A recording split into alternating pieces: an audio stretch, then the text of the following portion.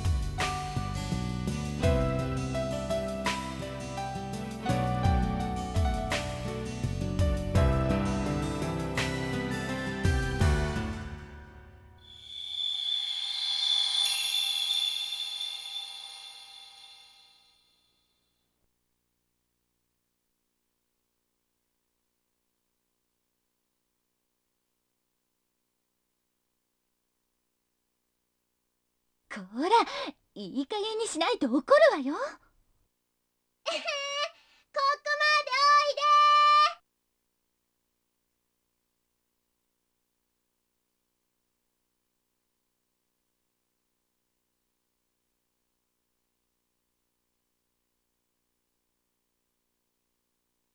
でほら捕まえた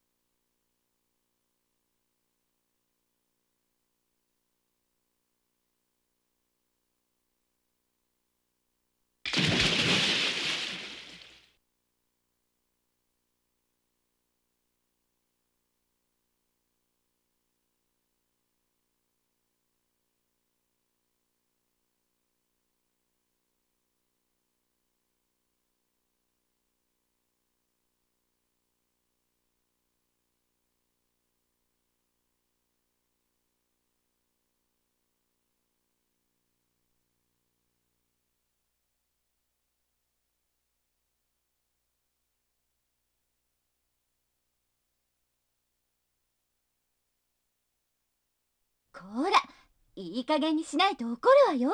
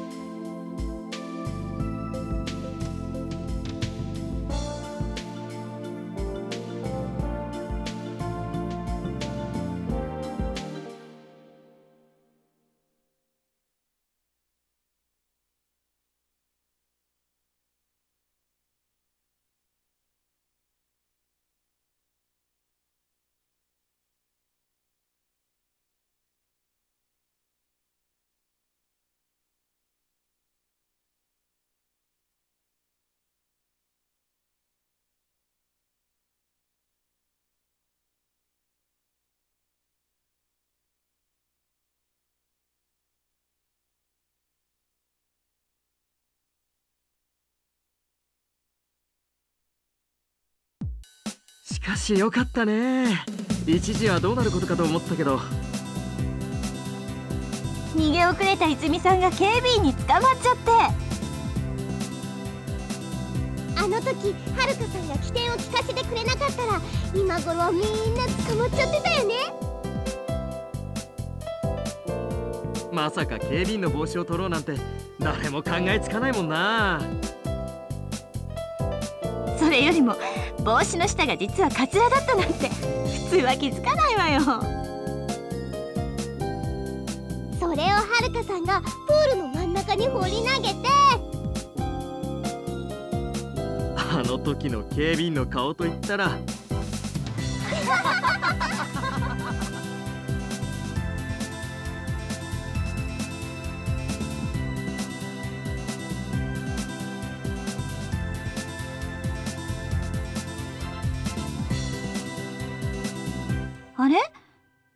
のまことくん。な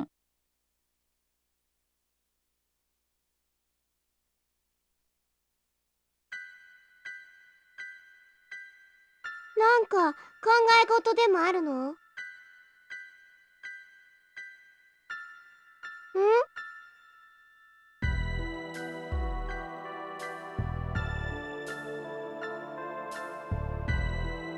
奇妙な現象？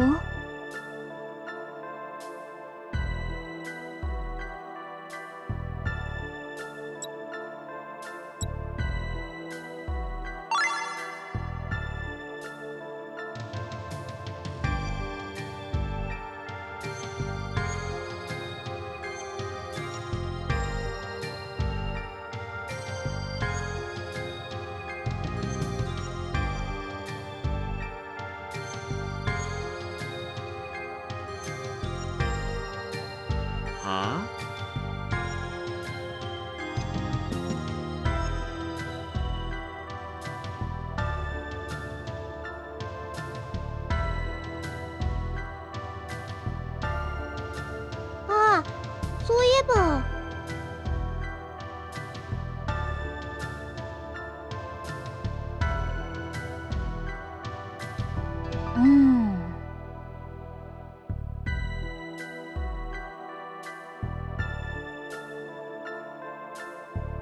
え？おいおい冗談のつもりかい石原。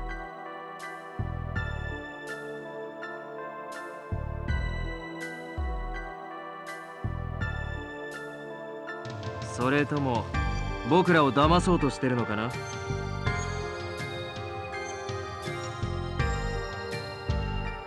得になるからこそそんなたわけたこと言ってるんだろう。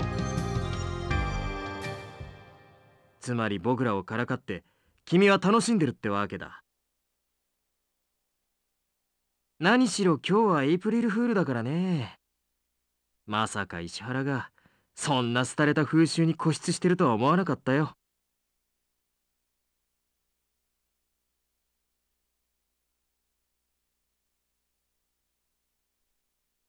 はいはい。わかったわかった。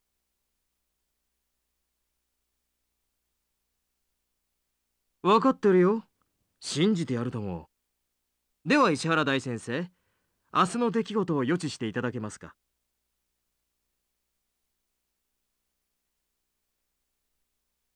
えー、お分かりにならないのですか先生。それなら1時間後のことでも。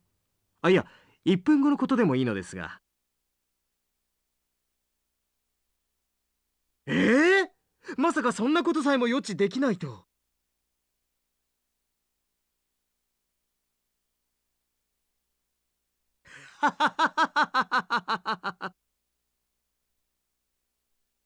ほらな。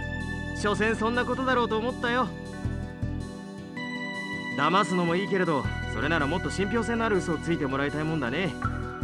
そんな子供でも引っかからないような幼稚なやつではなく。でもちょっと待って。お米のことも地震のこともつこうと思ってつけるような嘘じゃないと思うんだけど。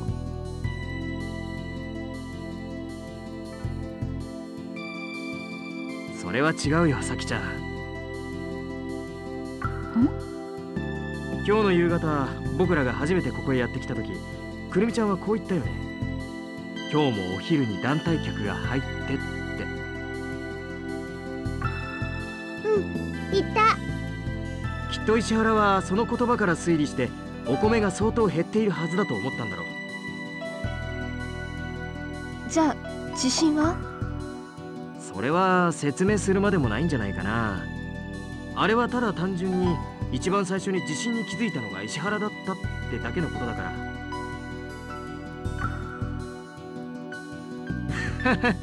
とぼけるつもりかい？要するに石原が地震が来るって言った時にはすでにそれは起きていたってことだ。僕らは泉さんとくるみちゃんのじゃれ合いに意識を集中してたからそれに気がつかなかっただけで。そうじゃなかったら石原は普通の人では感じないような小さな揺れ。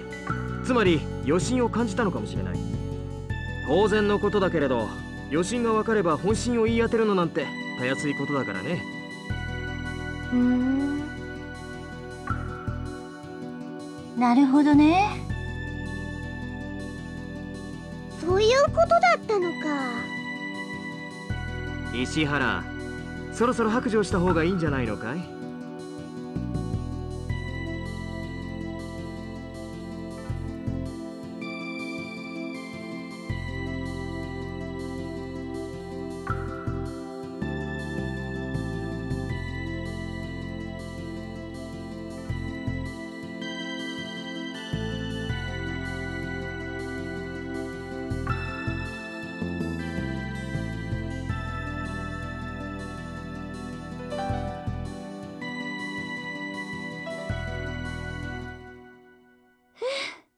さっぱりした。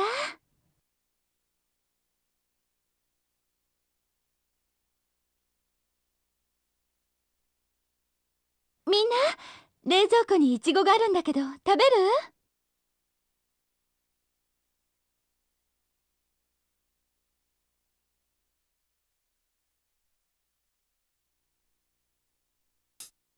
もうどうしてみんな戻ってきちゃったのよ。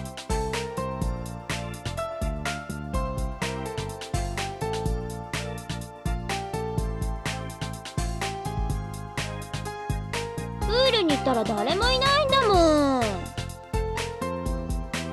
ほらせっかく水着だって着てきたのに。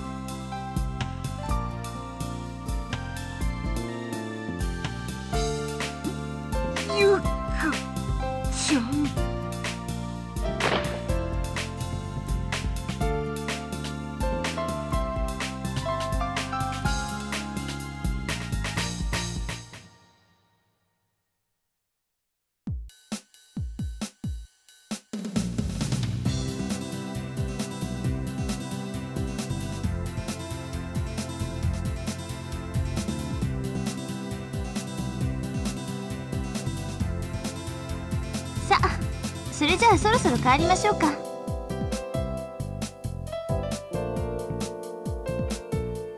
泉さんは私たちみたいに暇じゃないんだから。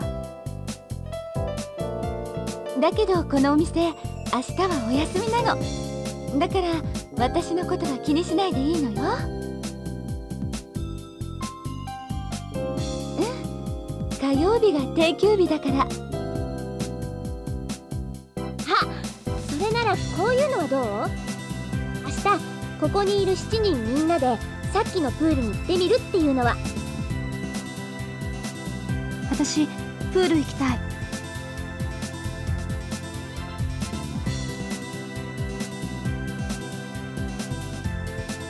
いいこと言うじゃない優香。誠は？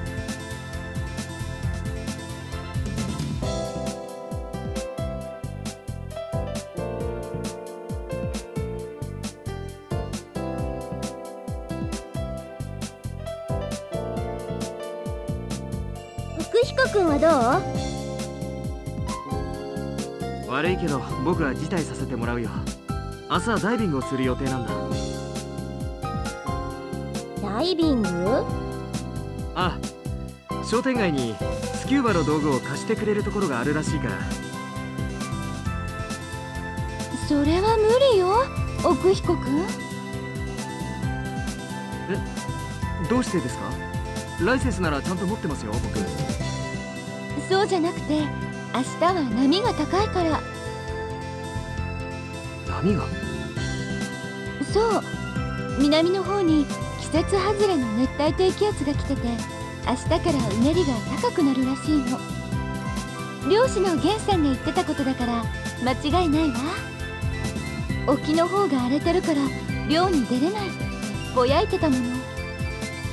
それに今回の低気圧移動速度が遅いから1週間ぐらいはダメかもよ。へえそうなんですか？